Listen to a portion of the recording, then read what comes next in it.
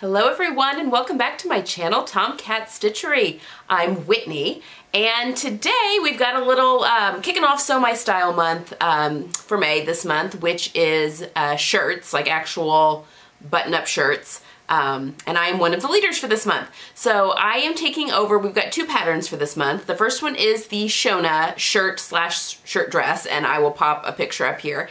And I actually made that, um, I'll pop a link up to that video. I made that in my most recent uh, module that I just did. And then our second pattern for the month is the Novelista. I'll pop that up, picture, uh, by Blank Slate Patterns. And that is the shirt I'm gonna be focusing my attention on this month. Um, we've got wonderful um, other leader and host for this month. Our other leader is um, Eowyn from Sew La Jupe. And um, then our hosts are Jess from Coral and Bunny and um, my mind just went blank. And Claire from Belle Citadel. Sorry, Claire. my, my brain just totally went blank. Uh, so that is, yeah, there are two hosts. So we've got a very fun-filled month ahead. I have some tutorials coming at you guys this month for shirt making. I have a tutorial on how to install a um, collar and collar stand into a shirt and I have a tutorial on how to use bias tape for um, kind of a bias hem facing on shirt tail hems. And then I think I'm also going to do, I was looking at the pattern and I was just going to do those two tutorials, but um, I've had some requests for how I do full bicep adjustments on my patterns because I, I have larger upper arms and I frequently have to do full bicep adjustments on patterns. And as I was looking through um, this Novelista pattern, I noticed that first of all, and I'll talk a little bit more about it in just a second, that she was talking about those adjustments. So I thought I might actually do that tutorial as well, just because I've had a few people ask for it anyway, and sometimes it's a little easier to see it done um, if you're a visual learner, as opposed to just seeing pictures and reading about it. So that's kind of the plan. and then of course a reveal um, of my shirts at the end of the month. So today, um, again, I'm really focusing on the Novelista this month, and today I wanted to talk about gathering your supplies and picking fabric for your button-down or button-up shirt.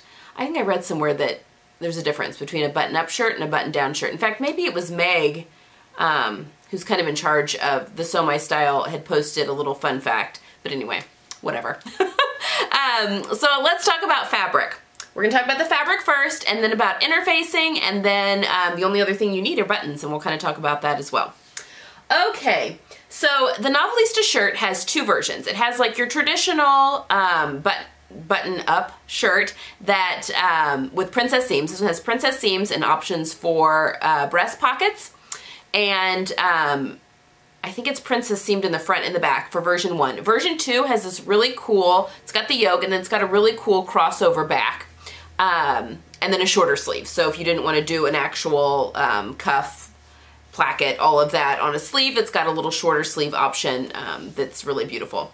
So again, all of this, she lists very detailed um, fabrics that she recommends for her pattern, Melissa, who is uh, Blank Slate Patterns, and I definitely um, obviously recommend looking at the pattern, but I think that they're, in my opinion, so these are all my opinion, like what I prefer when I'm sewing a button-up shirt and what I kind of look for and different fabrics I choose depending on the style that I actually want to make.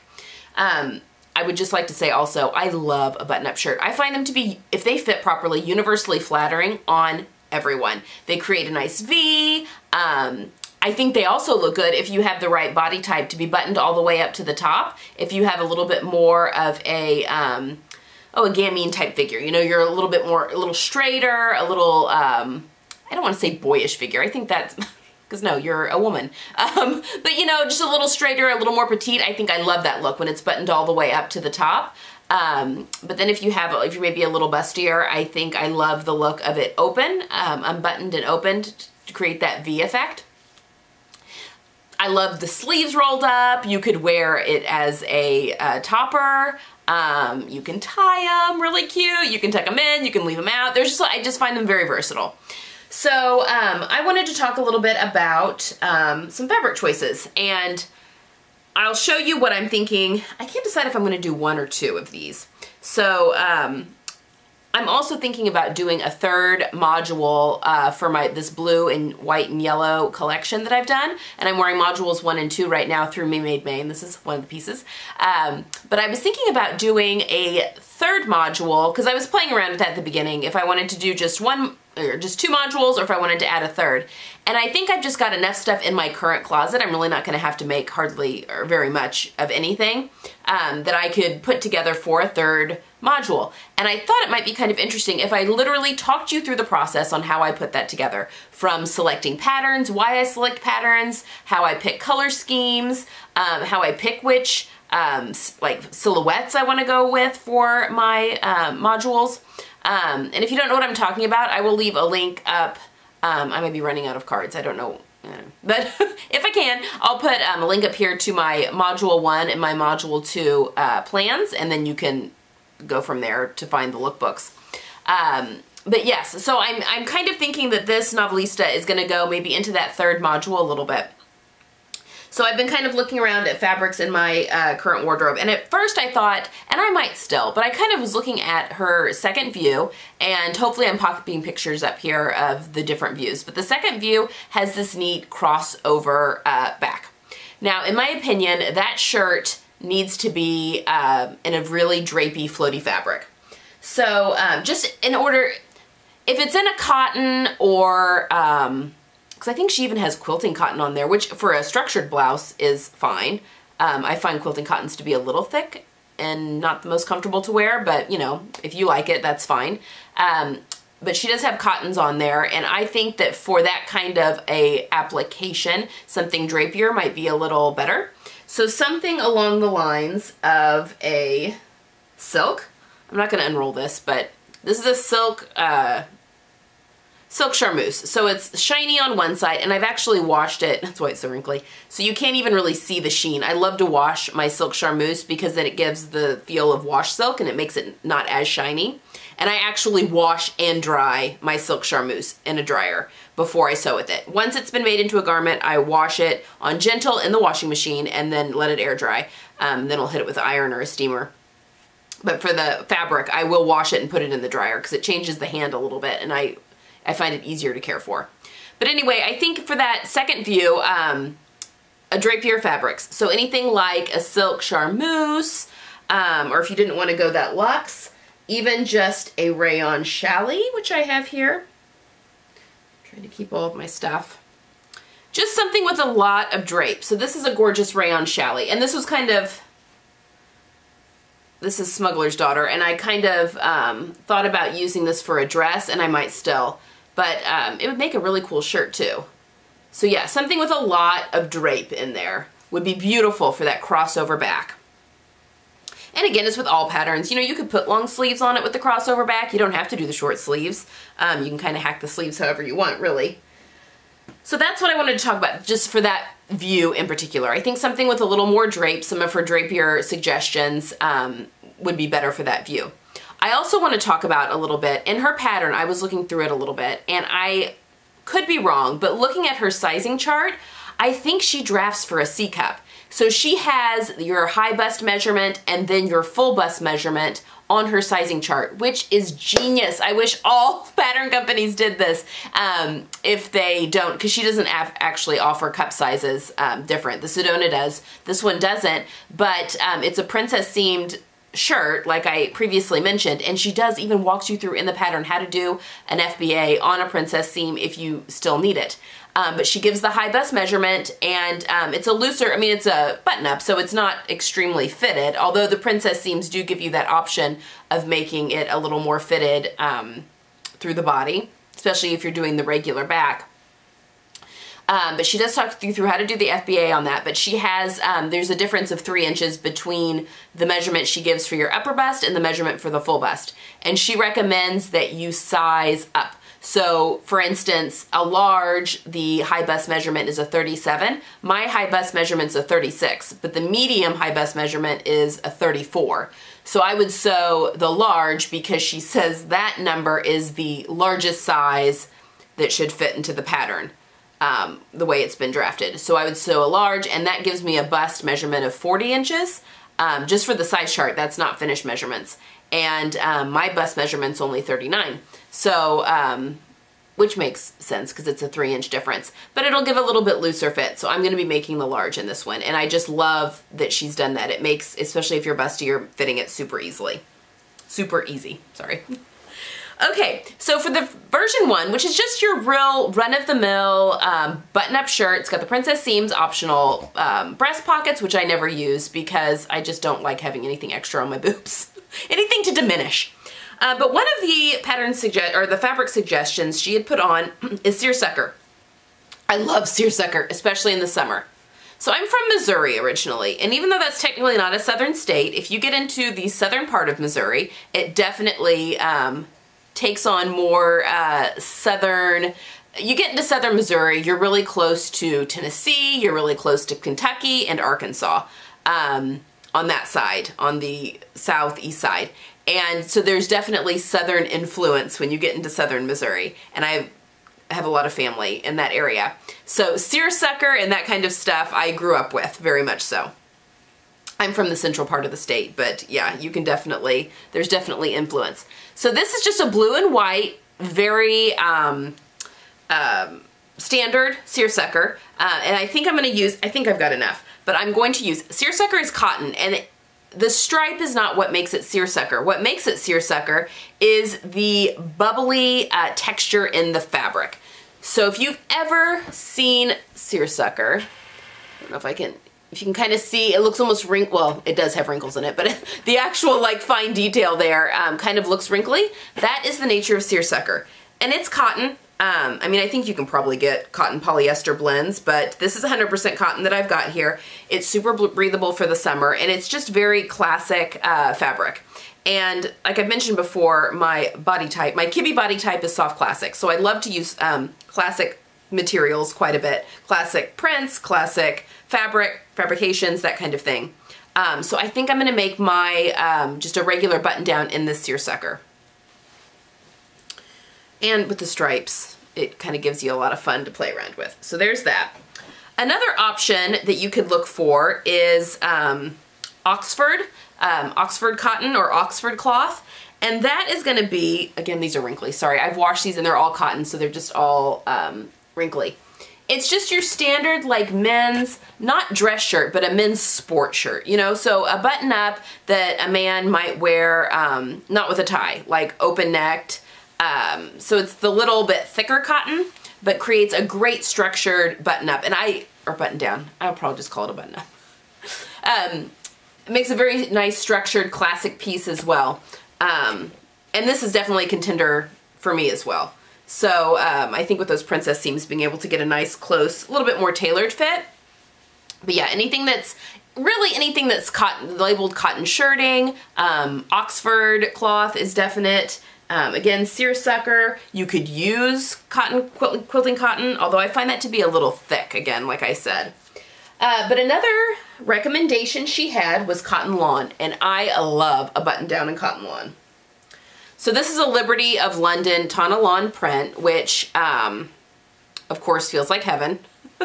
so you have that. What I love about the Tana Lawn is that when you wash it and um, I don't dry it, I wash it and dry it when I first get it. But then once it's been made into a garment, I do not dry it. I let it air dry. But you hardly need to hit it with an iron because it is so tightly woven, it does not wrinkle hardly at all. Um, maybe if you're super particular about your clothes being wrinkle free, but it, it really comes out of, you know, air dries pretty, pretty nicely. But cotton lawn is nice and thin. Nice and thin. Um, and just makes a really nice breathable cotton shirt. Again, you could possibly use this for the drapier back, um, but it's gonna have more body than a challis, not as much weight to it.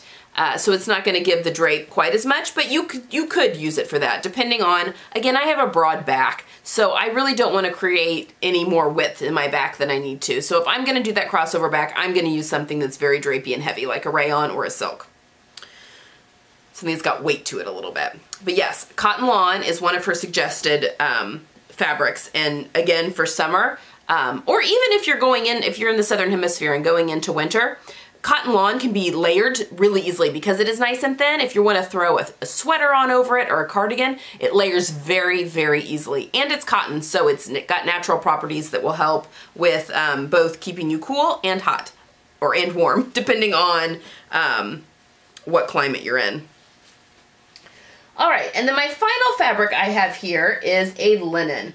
And um, again, I mentioned that I've already made the Sedona and I made it in a linen. And when I'm using really structured fabrics like that, this is another linen. This is from Smuggler's Daughter, and this also could become a novelista. I, uh, clearly, I haven't made up my mind yet what I'm gonna do.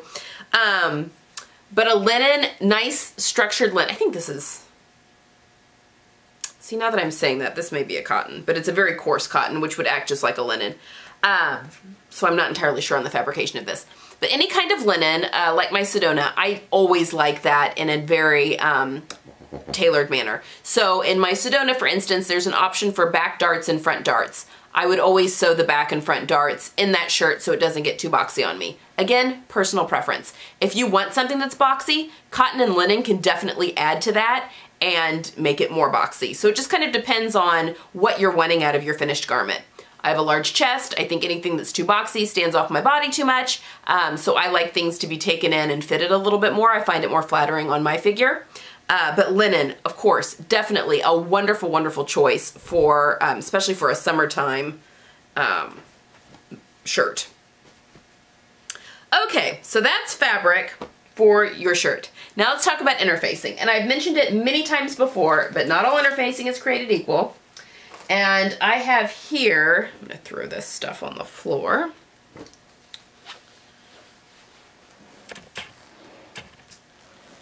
Okay, I have here two different um, interfacings. So this would be dependent on the fabric that you're gonna use. Try not to dump that. But for my cottons, especially my heavier weight stuff, so um, like a heavier linen, a little bit thicker weight cotton, um, maybe even the seersucker, maybe even the seersucker is a little bit lighter. I would use an actual shirting interfacing. And typically, I will leave a link down below. Um, this comes from Fashion, Fashion, Fashion Sewing Supply. Fashion Sewing Supply? The interfacing people. Unfortunately, they do not ship outside of the US, which is real unfortunate. But um, they do have really nice shirting um, interfacing. But if you don't live in the US and you're looking for good stuff, what you want is something that looks like white cotton on one side. Um, so it's backed with like a white cotton fabric on one side and then your glue is on the other side. That's perfect for collars and um, cuffs and plackets. Now you can buy different weights, so depending on if you want a super stiff collar, if you want something a little thinner, clearly the thicker the interfacing, the um, more structured your collar and stuff's gonna be. So with that being said, if you are using a drapier fabric, and I'm not sure, Palmer Pletsch may have a shirting um, interfacing as well. Um, I'm not sure, I haven't used it. But this one is a Palmer Pletsch, and this one I've used for some of the lighter weight applications and some of my blazers. But this is the Perfect Fuse Sheer and it is it does not have the cotton back it is just a really thin sheer. Almost tricot-ish, but it doesn't have any stretch.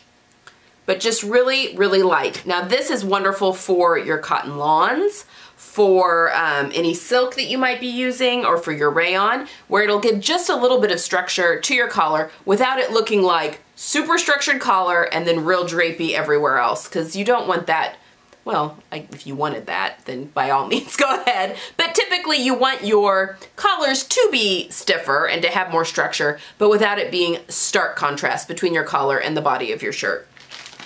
So I would definitely use something like this on, like I said, my silks, my rayons, anything that's, or even my cotton lawns, things that are a little more um, lighter. Um, so yeah, matching your fabric to your interfacing, yes. And again, I will put links down um, to the interfacing, these two interfacings down below, and I'll see if Palmer Pletsch does have um, something a little more like the, the with the cotton backing, the shirting. Um, and I will leave uh, my Palmer Pletsch dealer, Evelyn's email down below if you are interested and can't find, um, you know, she's a dealer, so she sells this to, to people in classes and that kind of thing. And she might be able to, oops, sorry about the phone, that made me jump. Did you see that? Why am I so jumpy? Sorry about that, hold on. Okay, sorry about that interruption and me like shooting out of my chair when the phone rang. It's, I don't know, up really loud. All right, so that's interfacing for your shirt. So then the final thing that you need for your button downs, button ups, whatever you wanna call them, are buttons. My absolute favorite, I'm gonna leave a link down below. If you do a lot of shirts, especially the Sedona actually has a um, button, like a, a, hidden button placket, so it's covered so you can't even see the buttons. Um, and these are the buttons that I used, but these are just, uh, oh, I grabbed the sleeve ones. Um, I have them in different sizes. These are just clear shirt buttons, and they're kind of thick, so they go through your fabric really well. But you can buy them by the gross, which is 144. It's a dozen of a dozen um, at wawak.com. And I will leave a link down to these below. So you can buy the shirt size buttons, and if you want to do the smaller ones, which I've got in the other drawer, um, for the cuffs, you can do that as well. Or if you like to do little buttons to button your um, shirt collar down uh, and use the smaller buttons, you can basically buy the same buttons really easily and really inexpensively. Um, at Wawak. I mean, again, if you're not making a lot of shirts, 144 buttons might be a little overkill, but I make shirts for my husband and myself, and a lot of times, even if I'm using a fun fabric, I just want the fabric to sing. Um, so those are nice and inconspicuous. But I also love, you know, just like at your Joann's, if you wanted a bigger button, and I think big buttons are kind of coming into their own this season to have like a, a, larger button and I love anything that like the mimic of the tortoiseshell. I just think that they're just very classic and you can't go wrong with those either. Actually this on that Oxford cloth would just be gorgeous. Um, and you can get these at Wawak too. So I'll leave links down to those below. So I think that wraps up everything about collecting your notions and picking fabric for your shirts. Um, if there are any questions, definitely leave them down below. I will address them as I go. And uh, yes, you'll definitely be having the two tutorials that I mentioned about the bias tape for the hem facing that makes hemming a shirt tail hem so much easier. Um, how to install the collar and collar stand. I have a couple of um, little tricks that just make it a little quicker without having to do any hand sewing. And then, um, yeah, if you guys are interested in, I mean, it would make sense to do the full bicep adjustment video now um, because it, that may legitimately be a garment that you would need that because you don't want to, you know, when things are too tight in the arms, it makes things too tight in the back. So loosening that arm up, all of a sudden you've got movement again. Um, so anyway, those three tutorials will be coming to you. And if you are not signed up for Sew My Style, I will leave the link down for that below, and it's free. You literally are signing up to receive emails, which are the discount codes. And then you can choose to participate if you'd like to that month, and then be in the drawing for both the mid-month prize and the end-of-the-month prize which are just both randomly, random um, picks. And then, um, yeah, and then you get some great patterns. And you can join the Facebook group where you just get a lot of inspiration. There's a lot of great people that are over there. Um, and then you can also follow them on, um, there is a Sew My Style account on Face or on Instagram that you can follow and also the hashtag that you could follow. So I will leave all that information down below. And uh, yeah, we will be doing shirt stuff kind of the rest of the month on Friday, I will have my, um, we'll be going back and forth between this and modules a little bit. But on Friday, I've got my refashioning video coming to you on how I refashioned the men's thrifted jeans into my Dawn jeans and also um, what I did to my thrifted blazer to make it more me. So I've got that coming on Friday. And then next Tuesday, I think I'm going to delve more into um, this module three, but kind of showing you literally step by step, like a video on how I choose the color story in fabrics, a video on how I pick patterns and silhouettes. Um, and that's pretty much it. And then, you know, how I pull things out of my closet maybe a little bit to incorporate into modules so I don't have to make all six pieces um, and kind of how I think about different silhouettes and how those go together within the different modules, especially if I'm doing multiple modules that are meant to go together. So if that sounds interesting, let me know because I'm kind of thinking about that, um, kind of starting a little series there um, starting next week. Um, so I've also unearthed a lot of pattern companies now that a lot of them are going, which is fantastic, going to more inclusive sizing. Um, there's also a lot of pattern companies that are starting to do multiple um, multiple cup sizes, which is like ah, heaven, like nectar, the holy heavens to my ear. It just makes my life so much easier. And I'm sure a lot of other people when you don't have to do a full bust or a small bust adjustment, because a lot of them even go down to an A cup, which would be a small bust adjustment from the typical um, blocks that they're drafting their patterns off of. Okay, so that's it. that's what you have to look forward to. Don't forget, we're still in the giveaway for the Smuggler's Daughter gift card. I will leave, um, well, I'll pop a link up to that video up here on how you sign up for that giveaway. And you can still get 30% off at Smuggler's Daughter, and I will put the uh, her website down below and also the um, TomKat discount code for that 30% off. And that's good through the end of May. But you could definitely use that 30% off for um, fabric for a shirt. And um, also, where was I going with that? Where was I going with that? Hmm. I had a flickering idea. God, does that happen to anyone else? Anyway, you could use that 30, oh, shipping. She has free shipping if you spend over 100 within the United States, and then she does ship internationally. It's just, net, you know, standard international rates apply to that shipping. So that's what I was gonna say. Oh my word, I need to go lay down and take a nap or something. All I have for today. Don't forget to hit that subscribe button, and I will see you guys on Friday. Bye.